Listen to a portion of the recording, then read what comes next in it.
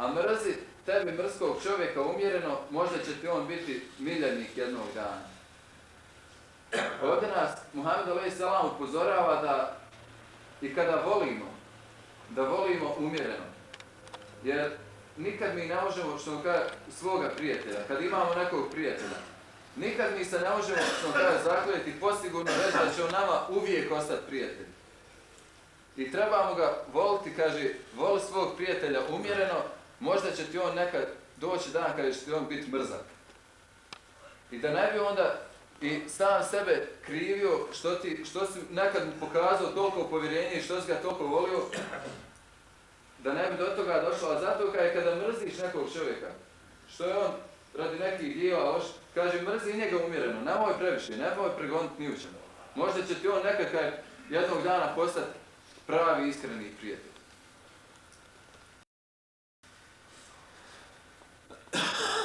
Ali Ibn Husein veli da je Muhammed a.s. rekao bavite se obrađivanjem zemlji. Zaista je obrađivanje zemlji blagoslovljeno i beričetno. I stavite u usjeve i u žito strašilo. Vidimo, Muhammed a.s. nas evo prije 1400 godina upozorava i govori nam kako trebamo i kolika je korist od obrađivanja zemlji. Znači, I što kaže zemljoradnika.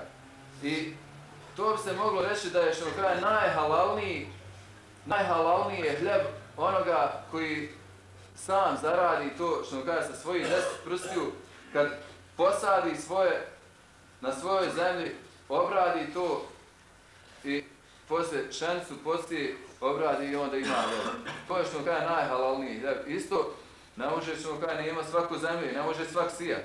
Ali opet, koji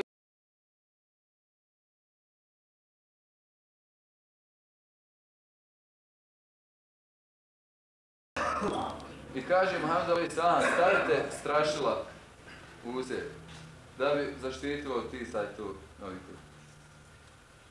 Uh, e, Sahl ibn Hazalije, veli da je Muhammed Ali Salam rekao, uljepšajte svoja djela i učinite dobrim svoje jahađe životinje da budete uzor i ugled u narodu. Čuvaj ono što je među tvojim vilcama i ono što je među tvojim nogama. To je čuvaj jezik od griješnih riječi i čuvaj spolni organ od bluda. Mohamed Ali Selam nas upozorava na dvije stvari, znači, od koji najprije i najčešće čovjek i najviše može zaraditi grijeha. Jezikom,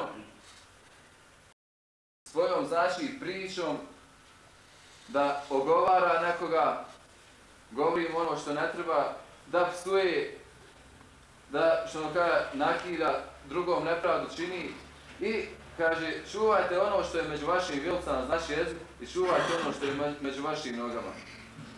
Pogotovo, bilo je dosta rasprava, imao sam ja tu baš prvi posljednji večeri, uži je krug, bilo je zacuva i sva što nije problema, ali kaže, Muhammed Ali Selam nas upozorava na to, da se čuvamo toga, pogotovo omladinu. I kaže Muhammed Ali Selam, onaj mladić, momak, koji bude imao priliku, dođe mu žena i ponudi se. Ako je samo tim jednim dijelom uće u ženu, tolika je znači nagrade i toliko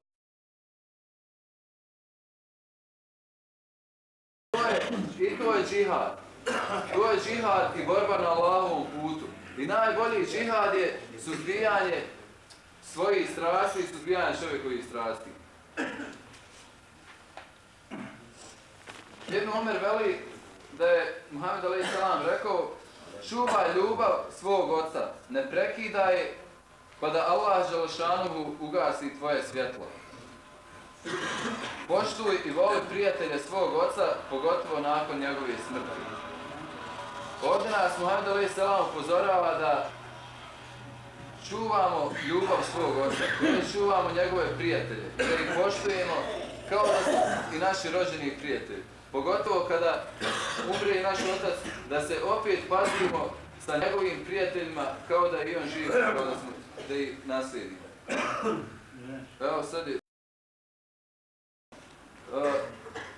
samo da još isto napomenem, pošto je što kaže Bajram, da neka jednom, dva put godišnje, pa da ponovimo kako se klanja, evo, Rasim će zanijetiti na glas, polako, vi ćete ponavljati za njim, ne zna nijet.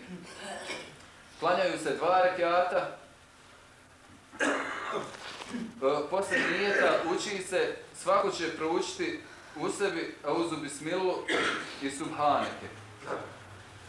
Onda donosimo tri takbira. Dižu se ruke i vežu se. Kad donesemo tri takbira, onda ću ja učiti, a vi ćete šutiti i slušati. Onda prvi rekat klanjamo.